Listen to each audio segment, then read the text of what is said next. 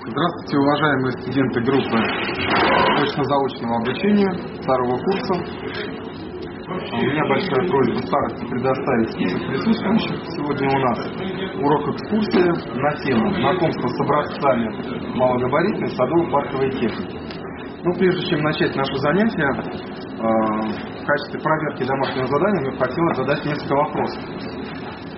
Ну, самый главный вопрос по нашей междисциплинарному курсу садово-парковая техника – это вообще, в принципе, зачем использовать садово-парковую технику. Ну, а с точки зрения вот, экономии, вообще глобального использования. Еще. Облегчение труда.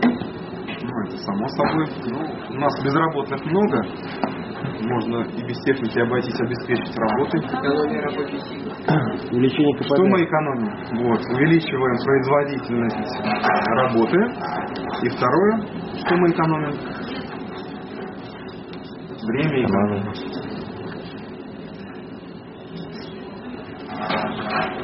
Основные марки э, крупногабаритных тракторов. Помните? Беларусь. Беларусь, Вольво, Caterpillar. Замечательно.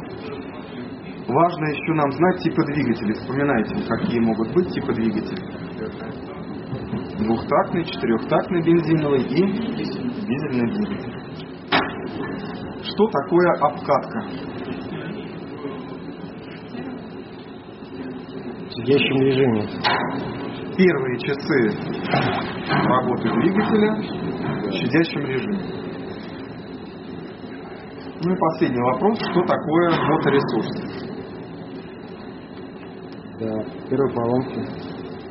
Часы работы двигателя до первого серьезного капитального ремонта. Да. Совершенно верно. Значит, сегодня у нас пройдет с вами урок экскурсия на тему знакомства с образцами садово-парковой техники. Мы находимся с вами э, в торгово-выставочном зале «Садовые машины» по адресу город Санкт-Петербург, проспект Народного ополчения, 22. Цель занятия – визуальное знакомство с техникой, современными марками, видами работ в садово-парковом и ландшафтном строительстве, а также промышленный опыт садово-парковой техники. То есть у нас будет с вами возможность в качестве а, практического занятия завести а, какую-то единицу а, техники. Но прежде чем а, приступить к нашей лекции, мы с вами должны пройти инструктаж на рабочем месте.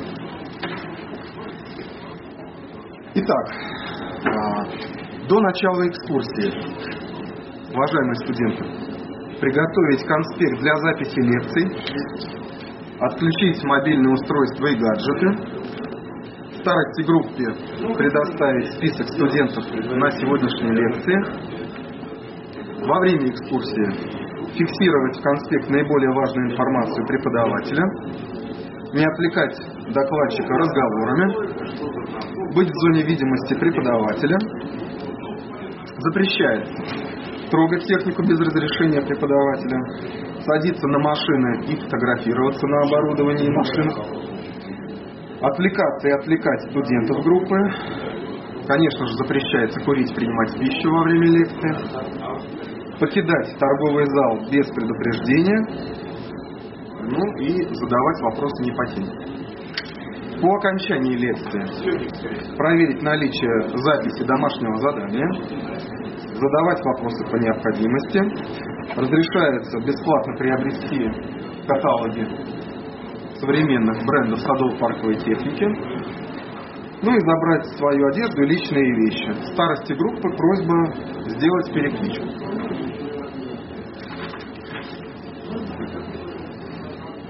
А также старости группы э, попрошу расписаться в журнале инструктажа по технике безопасности. Итак, прежде чем начать э, наше занятие, хотелось бы напомнить, э, что сегодня мы с вами визуально познакомимся с образцами садово-парковой техники, используемой в ландшафтном строительстве. Ну и как будущие специалисты вы должны знать, первое, наименование единицы садово-парковой техники. Второе, виды работ, которые выполняет та или иная единица техники. Третье. Знать 4-5 марок единиц садово-парковой техники машин механизмов. Знать тип двигателя, установленный на данной единице. Уметь подбирать альтернативные единицы техники и оборудования и уметь осуществлять безопасный запуск техники и оборудования. Ну что же, у нас э, начнем наше занятие. На дворе сейчас зима, я думаю, будет логично начать наше занятие э, суждения снегоуборщика. На дворе зима. Ну подскажите мне, пожалуйста, на, какой, на какой тип двигателя используется на данном типе снегоуборщика? Двухтактный. Ну, есть модели двухтактные, совершенно верно. Какой тип топлива заливается в двигатель двухтактный? Совершенно верно. Смесь бензина с маслом. Пропорции 50. Молодцы, совершенно верно. А, такая рода техника на каких объектах используется? Ну а по площади? Небольших, совершенно верно. То есть это могут быть э, территории внутриквартальные, да, жилищно-коммунальные э, хозяйства, да, могут использовать, очищая тротуары вдоль домов, ну, возможно, какие-то проезды. Конечно же, в зонах ограниченного пользования мы имеем возможность с вами расчищать территорию гаража, дорожки, площадки, там, на усадьбах и так далее. Ну, э, как мы видим с вами ассортимент Сейчас у нас мат месяц пришел не такой широкий, тем не менее видим единицы техники, оснащенные двухтактными двигателями, четырехтактными. В чем принципиальная разница? Разница, конечно же, в ширине захвата, мощности двигателя, ну и есть так называемые инновационные технологии. То есть есть модели, у которых ручка стартера, скажем, ручная, то есть запуск осуществляется при помощи механического стартера, да, более дорогие единицы техники оснащены, ну, скажем, электростартером. Просьба оператора подойти поближе, посмотреть. Значит, электростартер, позволяющий э, осуществлять э, пуск ну, без участия ручного, то есть более облегченный запуск. Значит, основными рабочими органами снегоуборщика являются шнеки, то есть вот это правая часть, вот это левая. При работе они подают снег к центральной части, и лопатка позволяет а, выбрасывать снег ну, на расстояние до 15 метров.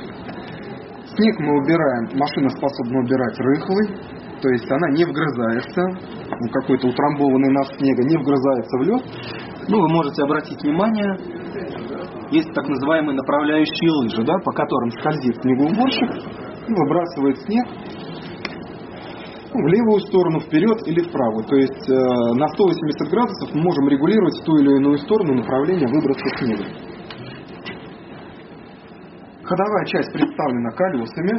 На данной модели имеется э, дифференциал колес, то есть позволяющий э, совершать более маневренные действия при работе.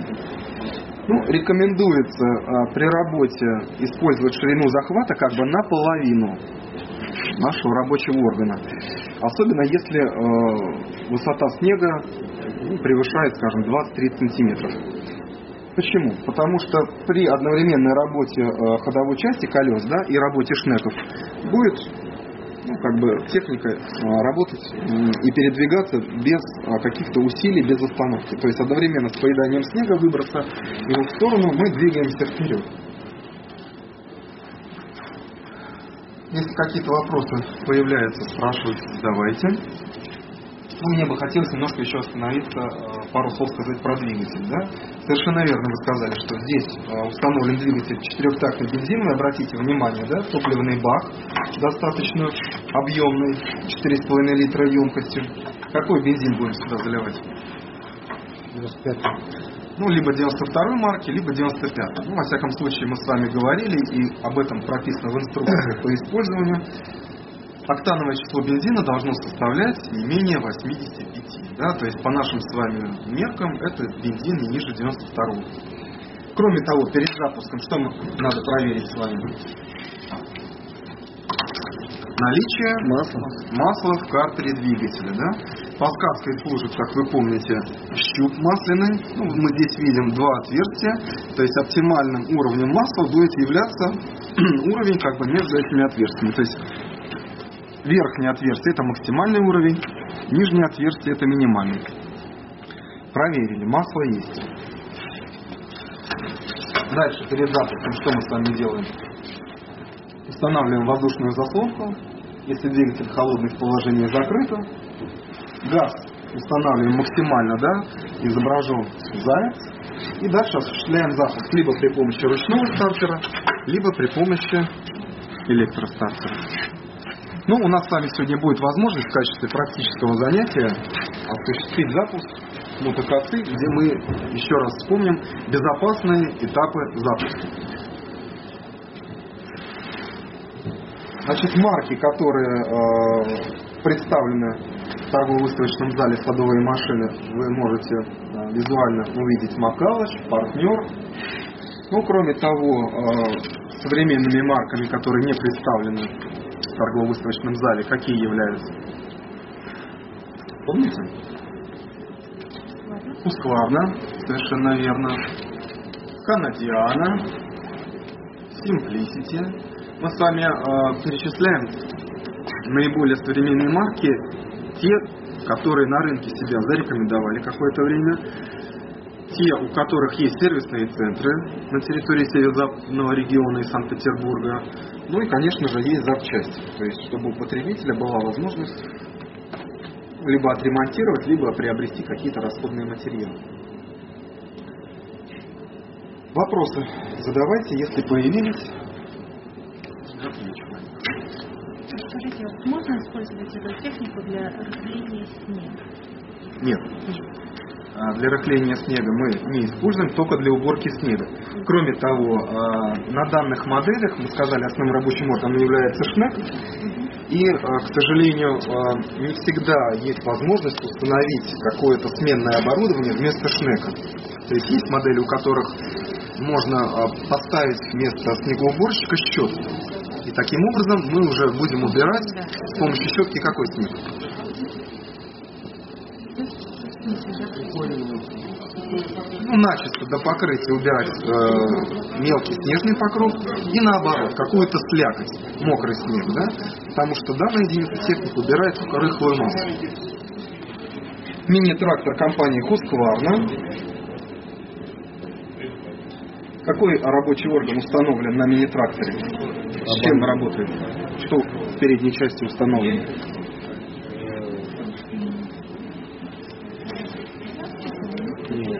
Ножи, совершенно верно. То есть этот трактор представлен в виде мини-трактора газонокосилки. Как вы видите, вот эта часть называется дека, мы с вами изучали, да, этот термин, а, под которой вращаются два металлических ножа. Ножи позволяют выкашивать какие газоны? Обыкновенная портерная. Обыкновенные, совершенно верно. Но в каких-то случаях, если позволяет ширина проезда выкашивать, совершенно верно, партерные газоны. Ну, в общем-то, и спортивные, хотя мы с вами позже будем говорить о качестве козьбы и затронем тему барабанных косилок. Значит, э, данный мини-трактор оснащен четырехтактным бензиновым двигателем мощностью 15 лошадиных сил. Марки двигателей, какие вы помните, современные? Брикстон Стрэттон, совершенно верно. Еще. Текамси, есть такой. Honda, Робин Subaru и Кохлер. То есть мы с вами должны хотя бы 4-5 наименований двигателей знать современных, которые используются, во всяком случае, на большинстве малогабаритной садово-парковой техники. Кроме того, если вы помните, мы с вами э, говорили о том, что на мини-трактора возможна установка навесного оборудования на марке, оснащенной двигателем более 18 лошадиных сил. Ну что можно поставить вместо косилки? Что можно установить? Ну правильно, Мария, щетку. Что еще? Отвал. Отвал. Можно. Ну, для небольших объемов работ совершенно верно. Прицеп. Ну и, пожалуй, все, да?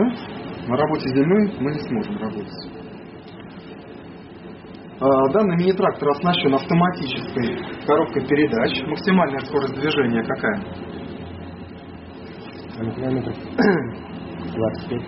25 Нет, многовато это до 20, да? 15-20 километров в час. Да мне кажется, на 20 километров едет. Ну, около 20, да. Значит, по технике безопасности, э, если оператор встает с сиденья, двигатель автоматически глохнет,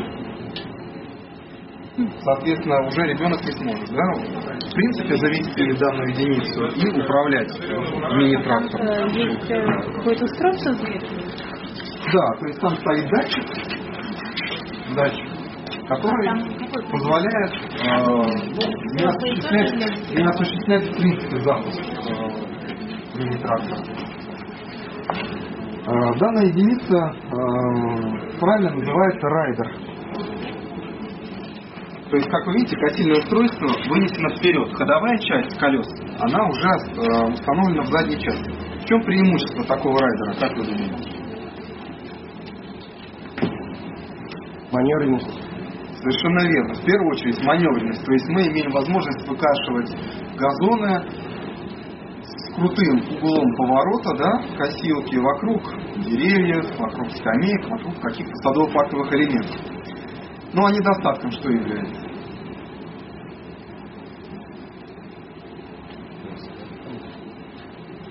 То, что скашиваемая трава остается не собранной. Да? То есть, если у нас объект находится с каким-то э, повышенным статусом, Сборник. сейчас поговорим об этом, э, придется собирать вручную. Совершенно верно, вы заметили, есть э, функция травосборника.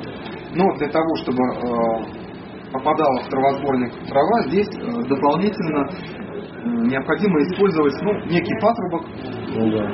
по которому будет доставляться скашиваемая трава в травосборник. Ну и, конечно же, хотелось обратить ваше внимание на стоимость. В настоящее время да, стоимость такого мини-трактора составляет 207 тысяч рублей. Поэтому мы с вами, э, когда изучали раздел двигателей, говорили об типе используемого топлива, говорили, что это важно, да, потому что если мы будем использовать топливо, не подходящее для данного типа двигателя, это приведет к ремонту. Ремонт дорогостоящий, запчасти дорогие, поэтому мы с вами как специалисты, как будущие не только рабочие, но и мастера садово-парковых хозяйствах, должны знать правильную эксплуатацию двигателей, в данном случае четырехтактных бензинов. Хорошо. Если есть возможности у организации, как вы правильно сказали, мы выкашиваем газоны мини-тракторами, либо крупногабаритными тракторами с навесным оборудованием. Но если нет возможности, нам на помощь приходят колесные косилки. Ну, как вы видите, современными марками газонокосилок являются модели Алько, Husqvarna, Партнер. Ну и не представлены, к сожалению, в магазине есть модели Бридж и Викинг. Викинг есть, совершенно верно.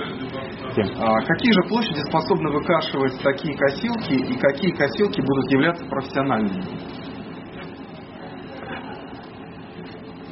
Аллеи. Ну, мы выкашиваем садово-парковые обыкновенные газоны. Но как нам понять, какая косилка является профессиональной? На двигатель я вам подсказываю. Двигатель какой должен быть? Мощностью не менее 5 лошадиных сил. Да? То есть, если вы посмотрите, диапазон мощности у колесных косилок составляет от 3,5 до 7 лошадиных сил. Но если мы говорим о профессиональной сфере, выкашивании газонов на больших площадях садово-парковых предприятиях, то, конечно же, Есть это должны быть двигатели не менее 5 лошадиных сил. Ну, в настоящее время вы можете встретить э, такие модели, как мы упомянули, Викинг, Husqvarna и Алько. Чем же оснащена колесная косилка? Естественно, основным рабочим органом выступает что у косилки? Ножи. Конечно, металлические ножи. Металлический нож позволяет выкашивать обыкновенные газоны. Естественно, этот газон должен быть относительно ровный, не почками. Ну и у моделей э, существует разница, естественно, в ширине захвата. Корпус может быть выполнен из пластика, из металла, ну и, конечно же, э, по типу скашу, э, по, по типу выброса травы, да, может оснащаться модель травосборником. То есть э, чаще всего мы, конечно же, используем такие модели ну, на объектах, как мы говорим, с повышенным статусом, на территориях ограниченного пользования, частных усадеб. В городских условиях чаще используют модели либо с боковым выбросом, либо с функцией мульчирования. Объем подборника составляет от 30 литров до 70. У мини-тракторов газонокосилок до 500 литров. Ну, а, есть так называемые а, инновации в мире газонокосилок. Мы с вами говорили о них. А, значит, что может быть установлено на колесную косилку? Может быть установлен в передней части аэратор, которым мы пользуемся один-два раза в сезон для вычесывания мертвой травы, ну и для доступа кислорода в корневую систему, да, дернины газовых трав. Кроме того, некоторые модели бензиновые могут оснащаться электростартером. Кроме того, к инновационным технологиям мы можем отнести удобную регулировку по высоте скашивания. Да? То есть те модели, как вы помните, регулируются по высоте от 3 до 10 сантиметров. Да? Можно подойти поближе оператору. Оператор у нас Игорь сегодня. Спасибо вам еще раз. Значит, регулировка колес да, осуществляется либо вручную каждое колесо. Бывает, что одним рычагом у нас есть возможность на более продвинутых моделях, как мы говорим, идет вот эта регулировка. Очень э, интересная функция и важная для муниципалов – это функция блокировки ножа. То есть, если есть на поверхности газона какие-то штыри, мусор, да, для того, чтобы нам не согнуть вал двигателя, который передает вращение на нож, э, стоит муфта, выполненная из легкосплавного материала, алюминий. И если попадает нож газонокосилки на какое-то препятствие, выходит из строя вот эта вот муфта, естественно, которую заменить гораздо дешевле, чем ремонтировать вал двигателя, ну или покупать э, новый ножик газонокосилки.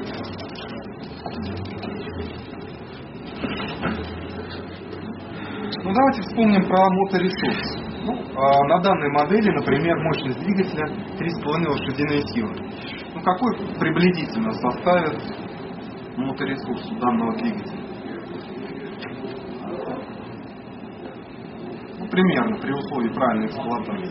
700 час, 800. Ну, 800, максимум 1000 часов. Значит, как вы помните, расход топлива такой модели литр в час, то есть несложно посчитать, сколько лет она нам прослужит. Ну, просьба подойти поближе оператора. Скажите, модели мы с вами перечисляли Альфо, различные модели, мы сказали, по типу выброса, да, вот здесь представлен боковой выброс, более мощные единицы здесь составляет мощность двигателя 6,5 лошадиных сил, ну, естественно, дизайн, эргономика отличается у этой модели. Но мы с вами, как специалист садово-паркового хозяйства, должны запомнить самое главное, что колесные газонокосилки предназначены для выкашивания обыкновенных газонов и часто являются помощниками после э, работы тракторов, мини-тракторов. Но всегда остаются у нас с вами участки газона, где не способна выкосить газонокосилка, и мы дорабатываем эти участки чем? Совершенно верно. Молодец, Наталья. Мотокосами и э, бензиновыми триммерами. Спрашивайте. А по поводу вот аэратора, который устанавливается в передней части, нет такой модели? А, к сожалению, в торгово-выставочном зале садовой машины не представлена такая модель, но если интересно, мы с вами можем посмотреть э, в каталогах и на лекциях.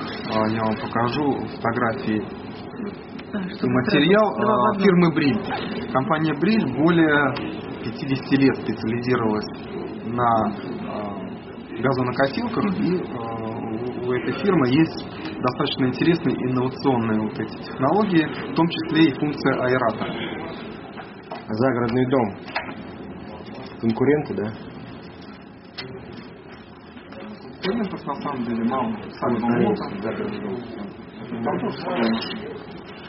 Значит, перед нами э, бензиновый триммер, оснащенный каким двигателем?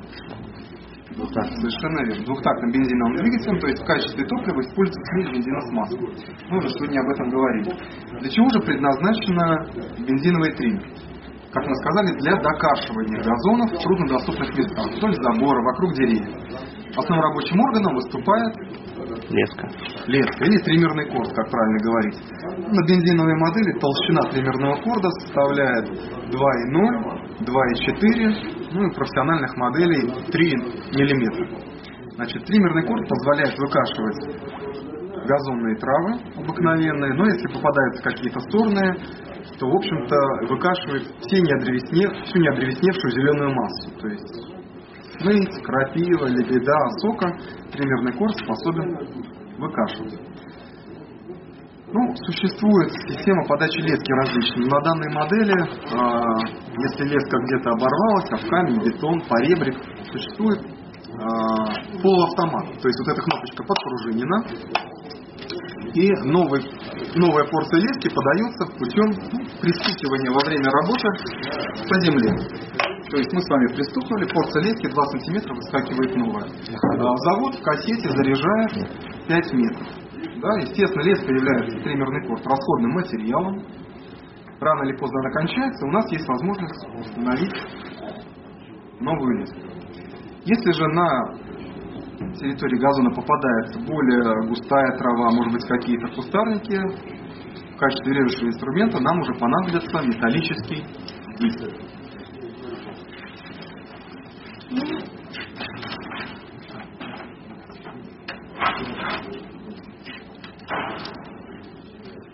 Металлический диск уже способен выкашивать более грубую траву, кустарники и э, такая единица техники уже будет называться мотокосой, поскольку основной режущей частью будет являться металлический диск или нож. То есть у нас есть возможность выкашивать уже не только траву, но и какие-то кустарники диаметром сантиметр до двух. Ну, посмотрите, обратите внимание, здесь уже более удобная такая Т-образная ручка. А, Мотокоса оснащается ранцевым ремнем. И оператор имеет возможность в правой руке иметь блок управления, то есть рычаг газа, да, держаться двумя руками, ну и по технике безопасности, как мы с вами говорили и указано в инструкции по эксплуатации, рабочий оснащается чем? Защитной одеждой, прочной обувью, наушники, визор защитный и перчатки. Совершенно верно. Профессиональные мотокосы имеют мощность от 1,7 лошадиных сил. Ну, из марок, которые существуют на рынке северо-запада, это Husqvarna и Штиль. Есть, конечно, конечно, широкий спектр и любительских моделей. Ну, мы их упоминаем и должны с вами хотя бы 2-3 единицы знать. Мощность тренеров.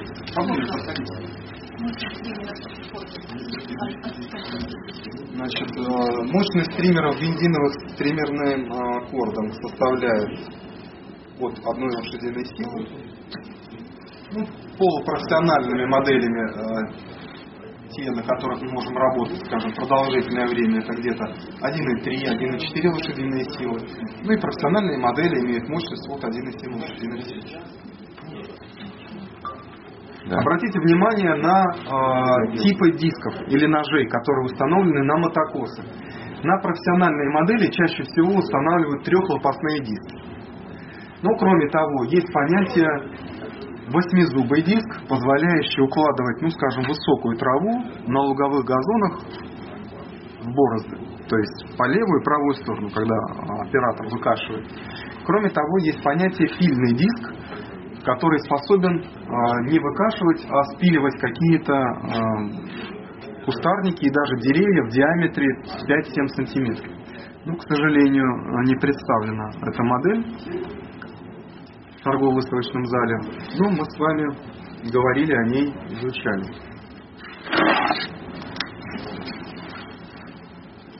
Как выравнивать Формовочная обрезка кустарник. Да? Основным рабочим органом выступает два полотна лезвий, и они способны перекусывать побеги диаметром 1 до 2 сантиметров. А, Ну, здесь представлена а, модель компании Эхо на базе двухтактного бензинового двигателя. А, В качестве насадок на разъемные штанги к мотокоссам мы с вами посмотрели для высоких изгородей, там, где нет возможности земли произвести работы по формовке, у нас есть возможность на более длинную штангу мотокосы а, проводить формовку, ну, скажем, а, изгородей, имеющих высоту ну, до 5 метров максимально. Далее перед нами генераторы. Мы еще с вами эту тему не разбирали, но обязательно будем говорить, что в садово-парковом ландшафтном строительстве могут быть использованы генераторы для э, работ с электрооборудованием. Ну, например, на объекте может быть использована бетономешалка. Может осуществляться какое-то досвечивание. Есть модели, в которые можно подсоединить сварочный аппарат. И таким образом, например, производить э, работу по установке ограждений на объекте. Они как-то отличаются по мощности? Для, Ну, э, генераторов сварочный тоже аппарат- целая наука. Да. А, Мы будем с вами говорить, что есть понятия синхронные генераторы, асинхронные генераторы, имеющие постоянный ток, переменный ток. Но нам, как специалистам ландшафтного строительства, важно, во-первых, понимать, а, какую технику мы собираемся подключать, какой мощности. Да. И важно, чтобы мощность этой техники не превышала номинальную мощность генератора. Кроме того, есть понятие генераторы на базе дизельного двигателя, есть на базе бензинового. Конечно же, если предстоит работа круглосуточная, без перерыва, это должны быть генераторы, совершенно верно, на базе дизельного двигателя. Если какой-то аварийный случай, на 8 часов, на 5 часов, то используются двигатели на базе бензинового двигателя, ну, как бы для аварийного пользования. В садово-парковом ландшафтном строительстве используют бензопилы для формовочной обрезки, для балки деревьев, ну и, э, скажем, для работ по ну, обрезке сучьев и так далее. Значит, основным рабочим органом бензопилы является шина, по которой движется цепь. А, Установлен двухтактный бензиновый двигатель. А, Пила оснащена тормозом. То есть э, вообще техника это является наиболее опасной единицей, поэтому, скажем, при работе кончиком шины может произойти отскок, да, и срабатывает вот этот самый тормоз цепи. Это важно знать. По дисциплине охраны труда мы с вами будем разбирать обязательно безопасную работу с бензопилами. Ну что еще сказать? Профессиональные модели а, бензопил а, имеют мощность двигателя от 3 лошадиных сил. А, Такими моделями в настоящее время являются бензопилы Husqvarna и Штиль. А, Компания Эхо, можно упомянуть, остальные модели ну, чаще носят как бы любительский характер. Есть так называемые э, пилы маленькие, у которых которые предназначены э, для стопиарного искусства. Да, то есть когда вырезают какие-то малые формы из дерева, то есть вот такие какие-то ювелирные вещи. А, лед, да, да, может быть даже и лед. По весу легче, да? Штиль. Да, не полегче. 2,8 килограмм. Ну, по цене тоже, да, такие. Интересно. А вот? А? Да, есть модели электрических пил. Ну, это уже для небольших объемов работ. Для них нужен, естественно, источник какой-то питания. Возможно, это работа э, в интерьерах, в закрытых помещениях. Ну, возможно, какие-то малые формы вы вырезаете из дерева. Ну, может быть, э, зимний сад. Него какое ограничение по работе? Ну, как мы сказали, электродвигатель боится перегрева. Поэтому, если работаете там минут 30-40, то желательно давать, конечно, перерыв. Ну, здесь уже у нас только одна емкость для для масла адгезионного, да, как мы сказали, позволяющего смазывать а, цепь по всему периметру шины. Ну, кроме э, марки Штиль, можно еще упомянуть, на мой взгляд, неплохой, э, зарекомендовавший себя давно бренд Макита. Наверняка вы слышали обрезные машинки, но есть и модели электрических пил. Чем эти пилы отличаются А, Я думаю, что здесь как бы м, просто требования, например, компании Штиль, да, иметь свой стенд, чтобы не было вперемешку каких-то других моделей. Вообще, Наверное, для надо открывать. И партнер, и Хузуан. Три бренда. Ну, партнер считается любительской маркой. Ну, мир же классно, понятно. Ну, вообще, вот, который в России. Вообще у нас в России до где-то 90, наверное, восьмого года э, лидером была шведская компания Йонсон. Красный бренд, они выпускали э, мотокосы профессиональные, бензопилы, очень широкий был ассортимент. Но, к сожалению, рынок меняется, компания Йонсон перекупила компания Husqvarna. То есть стали уже размещать производство, естественно, не в Швеции, сначала в Америке, потом перебрались в Китай. Ну, нельзя сказать, что техника плохая.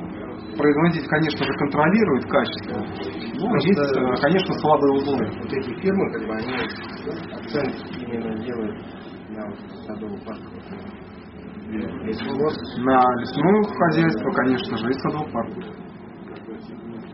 Там что-то появилось, и уже отсюда вылили для того, чтобы смешать с бензином. Ну, как бы это удобно. Хотя есть... э, нет, здесь нет риска. Ну, у компании Husqvarna, например, есть рисочки. Помните, я вам показывал на баночке? Как бы сбоку. Вот. Ну, вот пропорции, помните, да, 1 к 50. Да. Перед нами э, измельчители садовые. Э, предназначены для измельчения веток. Ну, скажем, прошла у нас э, обрезка санитарная, может быть, формовочная. И э, измельчители позволяют превращать э, ну, древесные остатки вот в такую вот крупную стружку. Э, э, Поскольку у нас с вами образцы малогабаритные, да, техники, естественно, предназначены для работы в саду с небольшим объемом работ. Если же речь идет, скажем, о измельчении веток вдоль магистрали, вдоль дороги, конечно же, измельчители выступают в качестве э, прицепного устройства к тракторам и к автомобилям. Но, тем не менее, в саду можно использовать измельчитель на базе и электродвигателя, и на базе бензинового двигателя. Перед нами культиватор на базе четырехтактного бензинового двигателя. Ну и, как вы помните, основным рабочим органом культиватора, выступает что? Фреза. Почвенная фреза, совершенно верно, Наталья молодец. Уже сегодня третий бум. Значит, а, фреза состоит из набора ножей, кованых, имеющих заточку на конус. Да? То есть мы должны знать, что а, при установке фрез их надо правильно поставить. Правый на правую сторону, левый на левую. В противном случае а, фрезы не будут зарываться и выполнять свою функцию рыхления. Ну, оснащены фрезы ограничителями, да, чтобы земля там, не выпадала за определенные пределы. Кроме того, а, глубину заделки фрез регулирует сошник. Это вот металлическая плотина, которая регулируется по вертикальной плоскости, выше или ниже. Ну, в данном случае колеса в работе не участвуют, при работе они подгибаются кверху, а предназначены для того, чтобы можно было подкатить культиватор к месту работы. Ну, скажем, там, от гаража на грядку. Ну, поскольку культиватор, э, сказали совершенно верно, имеет функцию только рыхления почвы, то, в общем-то, спектр навесного оборудования достаточно узкий. То есть можно установить окучник для устройства бороз, ну, скажем, в питомнике решили посадить саженцы кустарников, да, чтобы вручную лопатой не копать борозду, но имея возможность в задней части установить окучник. Ну, если мощность позволяет, иногда устанавливать какую-то бричку для, для перевозки груза. Максимально там 100-150 килограмм. Культиваторы э, оснащаются рычагом газа, то есть мы имеем возможность регулировать скорость вращения фрез. Ну, заводом э, установлена скорость вращения 150 оборотов в минуту. Ну, есть мини-культиваторы, у которых э, до 320. То есть фрезы э, вращаются, рыхлят почву. Кроме того, у нас есть возможность вращения вперед и вращения назад. Ну, бывает, что культиватор имеет вес, скажем, 60 килограмм, если зарылась машина там, по самой крыле, чтобы нам вручную 60 килограмм средний таскать, мы воспользуемся рукояткой заднего хода. То есть фреза начинает вращаться назад, и культиватор вылезает из какого-то заглубления. Ну, а здесь не представлены а, модели мотоблоков. Ну, вы помните из курса, в чем разница между культиватором и мотоблоком. Ну, основная разница в чем будет? Мотоблок.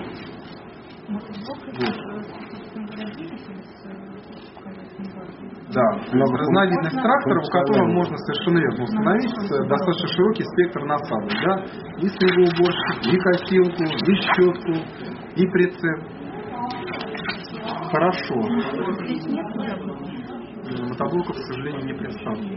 Так, перед нами техника а, для полива.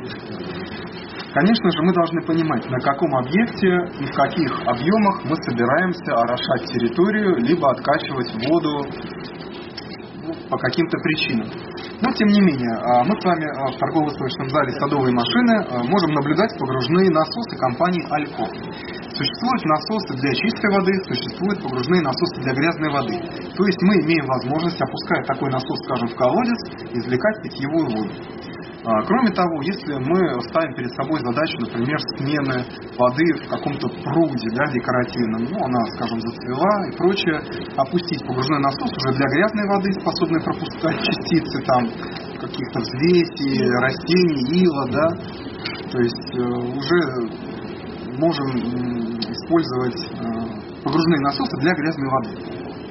То есть э, допустимый диаметр вот этих частиц 4-5 сантиметров.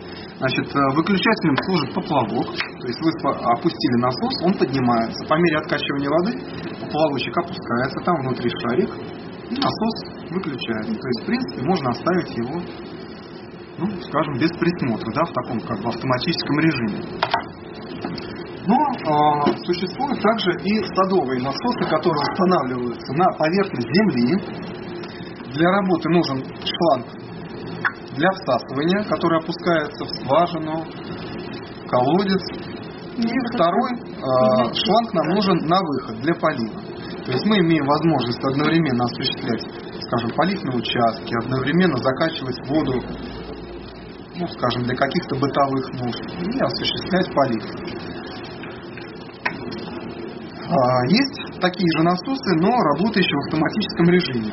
Ну, здесь их не очень хорошо видно, они правильно называются насосные станции. А, Насосные станции. То есть э, такую насосную станцию можно установить, скажем, в доме, на усадьбе.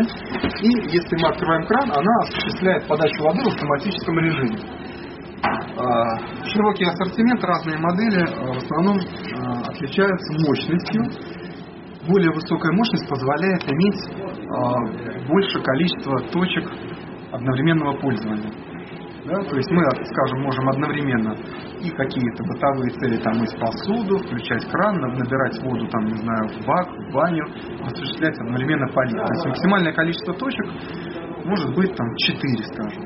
Да? То есть 4 атмосферы выдает а, насосная станция, ну, грубо говоря, по одной атмосфере на каждую точку, это вполне достаточно для того, чтобы осуществлять полив или какие-то работы. Да, это электрические насосные станции компании Альфа. Есть модели скважинные. Ну, здесь они, к сожалению, не представлены. То есть диаметр насоса позволяет опускать его а, в металлическую трубу скважины. Ну, нельзя, конечно, упомянуть, э, не сказать про поливомоечные машины, которые в основном, конечно, пользуются в городской среде для полива цветочных растений и насаждений. Кроме того, это могут быть различные прицепные устройства в виде бочек с водой, с водой. То есть это основная техника, которой пользуются садово-парковые хозяйства. Ну, поскольку мы с вами находимся в торгово-выставочном зале, да, и у нас сегодня тема знакомства с малогабаритной техникой, мы вот вспоминаем. На Далее давайте перейдем к следующему. Ну что, давайте еще чуть поснимаем. Угу. Перед нами техника для ухода за газоном. Ну, в данном случае э, эта машина называется аэратор. То есть, по рабочим органом выступает э, металлическая звездочка, которая а, прокалывает поверхность газона, осуществляя доступ кислорода к корневой системе газонных трав. Аэрацию мы выполняем обычно один раз, два за сезон, то есть весной и где-то в августе. А, Небольшой аэратор позволяет работать, соответственно, на небольших площадях. Да, ну, скажем, может быть, территории до 30 до 50 соток. А, На более крупных площадях аэратор является навесным оборудованием, тракторам, либо мотоблоком.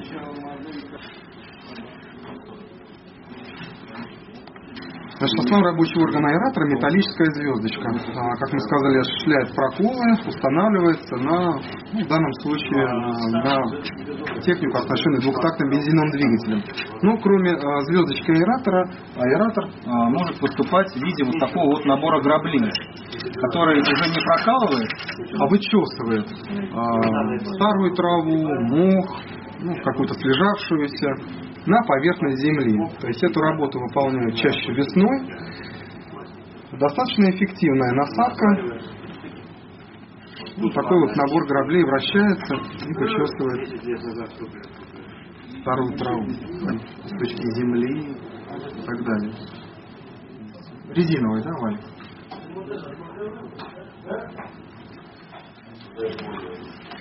Значит, перед нами садовый пылесос фирмы «Штиль». Садово-парковым используют для сбора а, какого-то легкого мусора, скошенной травы, а, павшей листвы. А, Листву очищают, могут очищать с поверхности деревьев. Причем материал, который собирается, измельчается пластиковой трещоткой и оказывается вот в таком вот мешке емкостью до 100 литров. На более больших площадях используют э, садовые пылесосы уже на базе бензинового двигателя. Ну а если у нас территория лесопарка или какой-то крупный по площади парк, а садовый пылесос может являться прицепным устройством к мини-тракторам и к тракторам. А, Кроме того, у данной функции, а, у всех садовых пылесосов, в том числе и которые представлены здесь, есть вторая функция на выдув. То есть а, мы имеем возможность с поверхности дорожки, например, какой-то материал сдуть. Это может быть песок, листья, скошенная трава и так далее.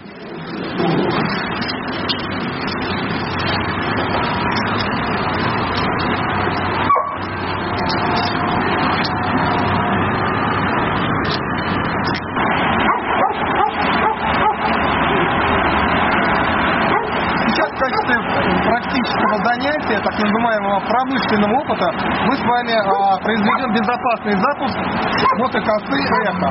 Ну, точнее, не мотокосы, а бензинового триммера. Правильно? Потому что здесь основной рабочий орган выступает леска. Ну, до начала работ. Какие требования предъявляют садово-парковых предприятиях? Конечно же, проводят инструктаж. То есть перед тем, как работнику а, начать работать э, с той или иной единицей техники, он проходит инструктаж. То есть он проходит а, медосмотр, то есть э, допускается к работе а, старший либо мастер значит, освещает э, безопасные методы и приема работы той, той или иной единицы техники. И э, работник расписывается в журнале инструктажа. Ну, непосредственно перед запуском э, мастер проверяет исправность рабочего инструмента, надежность крепления основных рабочих органов, отпускает а, необ- необходимое количество топлива для работы. В данном случае а, здесь будет смесь бензина с маслом. Ну и перед запуском а, работник должен оснащаться средствами индивидуальной защиты. В данном случае это будет спецодежда, конечно же обувь, защита органов зрения и слуха. Далее, приступая к запуску двигателя, а, при наличии а, вышеуказанного топлива, как мы с вами говорили, рычажок запуска устанавливается в положении единичка или старт. Далее, положение воздушной заслонки устанавливается закрыто путем пере- переключения рычажка. Кроме того, у нас есть праймер, кнопочка, которая осуществляет подкачку топлива и доставку ее в систему, да, в карбюратор. После того, как кнопочка наполнилась топливом, 3-5 раз мы на нее нажимаем. И с поверхности земли осуществляем запуск при помощи ручного стартера. То есть первоначально мы вытягиваем его медленно на расстояние вытянутой руки.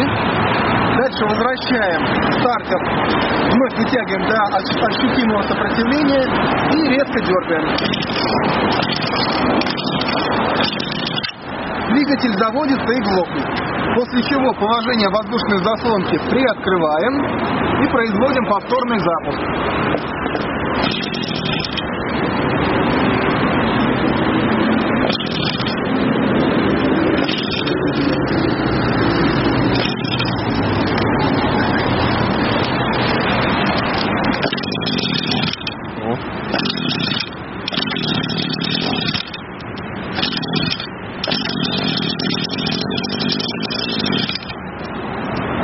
Надо газ нажать.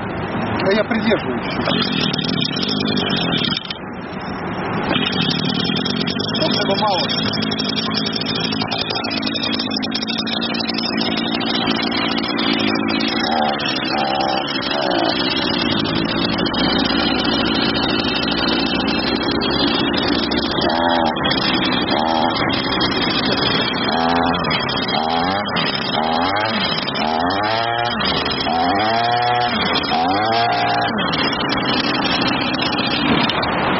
Значит, э, регулировка газа осуществляется путем удерживания верхней рукоятки и нажатия на рычаг газа.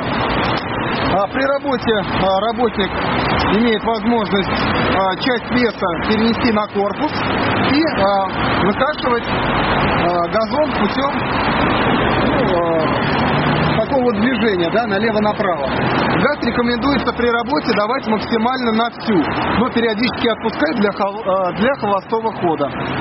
При работе обязательно мы должны а, пользоваться, то есть э, иметь защитный кожух. Без защитного кожуха работать запрещается. А, Как вы видите, а, установлен на кожухе металлический нож, он обрезает согласно диаметру захвата лишний корд.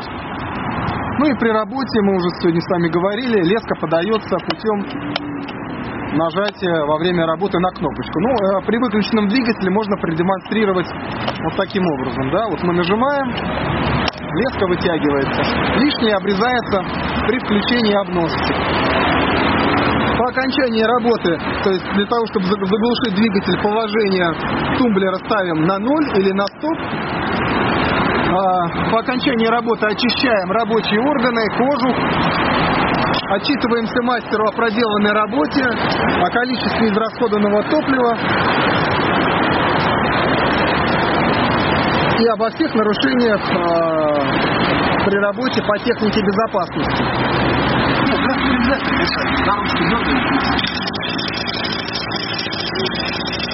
Сейчас единственное, леска будет обрываться, ну как бы, аккуратно.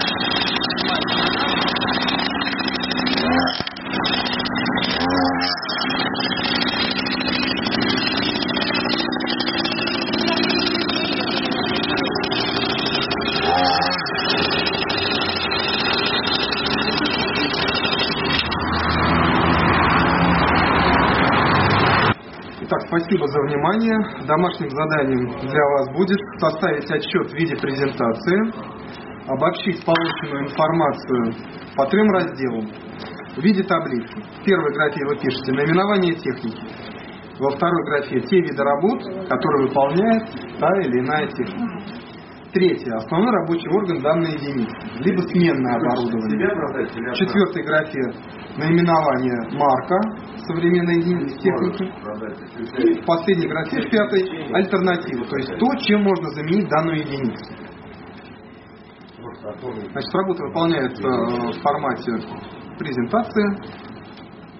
К следующему занятию жду от вас выпол- выполненной работы. Спасибо еще раз за внимание. Наиболее активным сегодня студентам оставлю пятерки за работу на уроке. Спасибо, до новых встреч.